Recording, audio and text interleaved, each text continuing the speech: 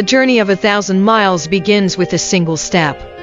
Lao Tzu hello and welcome to this talking script about the journey of a thousand miles begins with a single step. The quote by Lao Tzu is a well-known saying that reminds us that even the longest and most challenging journeys can be started with just one small step.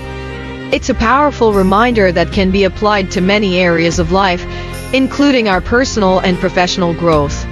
So, how can we apply this quote to our personal and professional growth journey? Well, for starters, we need to be willing to take that first step.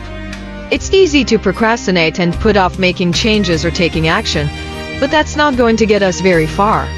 We need to be courageous enough to take that first step, even if it's just one small step, and then move forward with each subsequent step.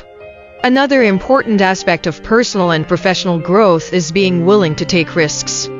We may encounter setbacks and failures along the way, but that's all part of the learning process. By being willing to take risks and try new things, we can expand our horizons and gain new skills and knowledge that can help us achieve our goals. Finally, we need to stay focused and committed to our journey of personal and professional growth.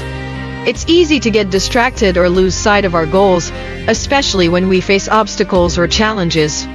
But by staying focused and committed, we can overcome these obstacles and achieve our goals.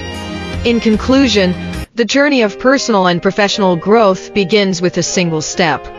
We need to be willing to take that first step, be willing to take risks, and stay focused and committed to our goals. With these key elements, we can achieve great things and reach our full potential. Thank you for watching.